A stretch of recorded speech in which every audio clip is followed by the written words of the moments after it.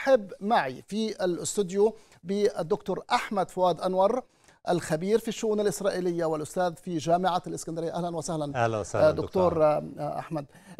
يمكن في البداية هذه ليست الحرب الأولى التي تخوضها إسرائيل ضد الشعب الفلسطيني خصوصا في غزة. هذا ليس العدوان الأول من نوعه. خلال حتى السنوات القليلة الماضية. لكن لو عدنا إلى الوراء قليلا كيف تعاملت إسرائيل مع غزة في تلك الفترات؟ يعني بعد تحية لحضرتك يا دكتور وللمشاهدين الحقيقة إسرائيل تعاملت بثلاث أساليب ثلاث مقاربات وفشلت فيها جميعا. الأولى الإدارة المباشرة ولمدة 38 عام متصلة. إذا أضفنا بعض الفترات الأخرى تتجاوز الإجمالي 40 سنة احتلال مباشر. هذا الأمر فشل بامتياز. جربت إسرائيل مع كان الانسحاب في 2005 قبل الانسحاب جربت أوسلو. فشل من وجهة نظر الجانب الإسرائيلي أيضا طرح أوسلو. في 2005 قررت الحصار من الخارج والانسحاب أحد الجانب.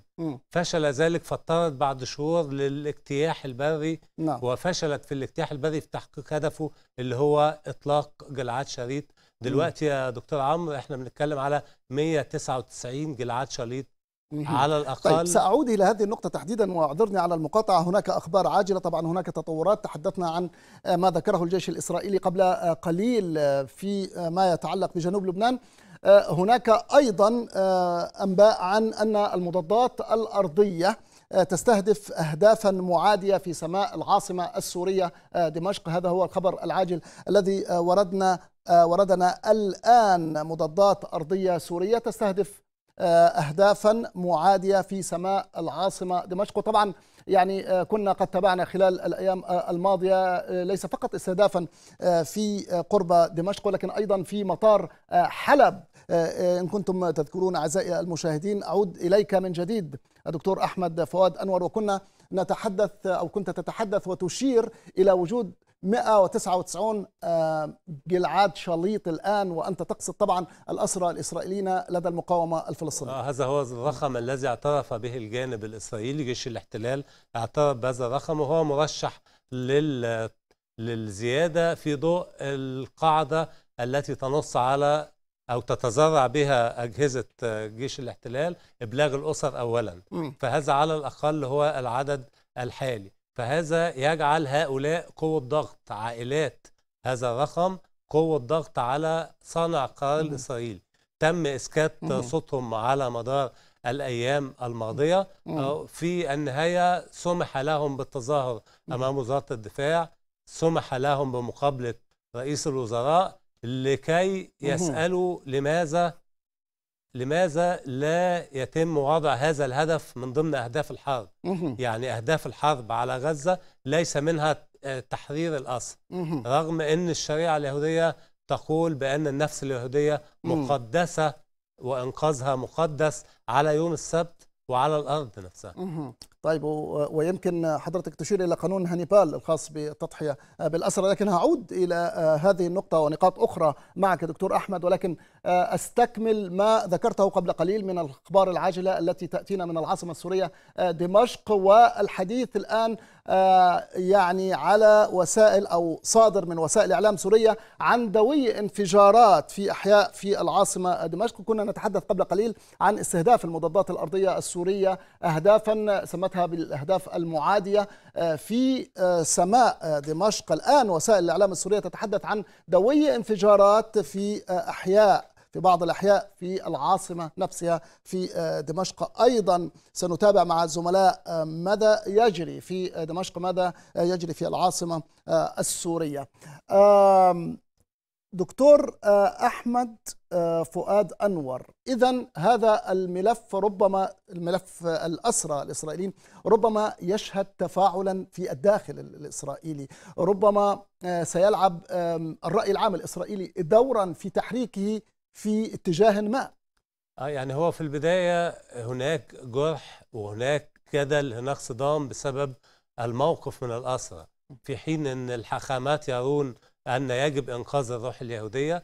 هناك في حاجة اسمها قاعدة هانيبال أو قانون هانيبال. سمحت الرقابة العسكرية عام 2003 بالكشف عنه بأنه يمكن التضحية بالأسير إذا ما كان في ذلك منع لأفضلية لدى العدو وهل المجتمع الإسرائيلي الآن بمقدوره آه، أن آه، يضحي بهؤلاء؟ لا طبعا من الصعوبة مكان أن يتم الاستسلام لتنفيذ هذه القاعدة التي طبقها إيزنكوت الذي انضم. لحكومة الطوارئ فبالتالي المجتمع حاليا لديه حالة من الغليان لماذا تم خذلان المجموعة الساكنة القاطنة في غلاف غزة لصالح الضفة الغربية وقمع الضفة الغربية. لماذا هذا التقصير الشديد من جانب الاستخبارات ومن جانب المدرعات والمروحيات فهذه مم. أمور آه، حاليا محل ضغط وبل مم. وهناك المسكوت عنه بدأ. يطرح بقوة. المسكوت عنه تمثل في مدير مكتب. رئيس الوزراء. الذي قال إن على رأس أسباب الفوضى التي نحياها اليوم نعم. تلك الحفلة التي أجريت نعم. التي تروج لها إسرائيل أن تم قتل المدنيين وأيضا اسمح لي ان كان في قوة أمنية تؤمن هذه الحفله طيب سنبقى في آه، إسرائيل ولكن هذه المرة مع صور نعرضها وربما للمرة الأولى يشاهدها آه، العالم. ما ماذا في هذه الصورة آه، أعزائي المشاهدين؟ هذا هو اجتماع الحكومة الإسرائيلية الكابينت الإسرائيلي. ومن يحضر هذا الاجتماع؟ يحضر هذه هذا الاجتماع لأول مرة آه، ربما في التاريخ هو الاجتماع الأمني المصغر طبعا آه، آه، بلينكن بلينكن وزير الخارجية الأمريكي الذي عاد مجددا آه، إلى آه، إسرائيل ويحضر اجتماع آه، آه، الكابينت الكابينت الإسرائيلي يعني ما- ما- لدي, ماذا لدي تعليق يعني. ما- ماذا تعليقك كنت أطلب منك التعليق آه يعني, يعني, كل. التعليق طبعا إن هؤلاء آه، اقسموا قسم الولاء بألا يفشوا اسرار تلك الاجتماعات مم. فإنما حينما ينضم وزير خارجية آه، أمريكا آه، كأنه عضو من الأعضاء دون هذا القسم فالأمر جلل وفي. عجلة لتصدير طمأنينة للشارع الإسرائيلي الشارع الإسرائيلي يرتكز على المصلحة الخاصة ير- يرتكز على تحسين مستوى المعيشة يعني ناس تترك روسيا لتحسين مستوى معيشة ناس تترك إثيوبيا. وليس الخلفية الأيديولوجية على نفس المنوال. تم السماح اليوم بإطلاق التدريبات الجماعية لفرق كرة. القدم فكانت رشقة الصواريخ من على تل أبيب وعلى القدس هي الرد بأن. الحياة الطبيعية لا يمكن أن تتاح. للقدس. وحتى لحيفا البعيدة. وفي حين إن غزة محاصرة. ويمنع عنها الكهرباء والأدوية نعم وكما ذكرت ربما آه، أن هؤلاء الذين أقسموا على الولاء آه، للدولة الإسرائيلية السرية. وعلى عدم إفشاء أسرار الدولة في إسرائيل يسمحون آه، لبلينكن بحضور هذا الاجتماع. طبعا نحن نعلم آه، ما هي إسرائيل بالنسبة للولايات المتحدة الأمريكية. ورأينا وتابعنا خلال الأيام آه، الماضية منذ أن بدأ العدوان على قطاع آه، كيف كانت تصريحات المسؤولين والقادة الأمريكيين المساندة بلا حدود لإسرائيل ول- ولحكومتها. لكن كما ذكرت دكتور أحمد في هذه النقطة تحديدا أكثر من مغزى. آه، ربما آم، يعني آه، وصحح لي إن كنت مخطئا. ربما آه، يريد الإسرائيليون إرسال رسالة إلى الداخل الإسرائيلي بأن لا تخشوا شيئا نحن وراءنا وفي ظهرنا أمريكا. طوال الوقت يتم وصف إسرائيل بأنها حاملة, حاملة الطائرات الأمريكية في المنطقة. الآن حاملة الطائرات تحتاج إلى حاملتي طائرات لحمايتها. توصف إسرائيل بأنها مخلب قط للولايات المتحدة. حاليا اضطر القط للوصول لحماية مخلبه فهذه من الأمور التي تثير القلق وتثير ال- الهواجس لدى الجانب الإسرائيلي وبالتالي هناك ضغوط اقتصادية وأيضا أخلاقية ولديهم فشل أمني نعم. ولطمة تاريخية. ها- حول هذا الفشل الأمني ورئيس الشباك كان يتحدث قبل قليل آه، عن أنه يتحمل مسؤولية آه، الفشل آه، الأمني الذي جرى في السابع من أكتوبر الماضي. يعني هل أيضا هناك ربما عتب بين قوسين لأجهزة الاستخبارات الأمريكية التي لم تساعد في كشف الهجوم الفلسطيني؟ يعني هو من المثير للسخرية أن المسافة بالأكم أكملها على مدار الجدار الذي شيد على مدار ثلاث سنوات نحو 60 كيلو متر فبالتالي لو في عداء ماراثون يمكن أن يقطع هذه المسافة في آه، ساعتين. وبالتالي المناطيد للمراقبة لا تحتاج إلى أمريكا لا تحتاج إلى الولايات المتحدة. فبالتالي تأمين هذا ال ال هذه المسافة لا تحتاج للولايات المتحدة ولا يمكن إلقاء هذا الإخفاق على شخص بعيد مثل الإدارة الأمريكية أو. بايدن لكن في النهاية الضغوط ال- والتأييد الخارجي لن يستمر للأبد بنفس القوة. بمعنى أن الاتحاد الأوروبي راجع نفسه في مسألة المساعدات التي تم تعليقها أو تجميد تجميدها. فرنسا لم تعطي ترخيص لمظاهرة لكنها سمحت هذه الأمور تعطي مؤشرات لدى الجانب الإسرائيلي بأن فترة ال green light لن تستمر إلى الأبد.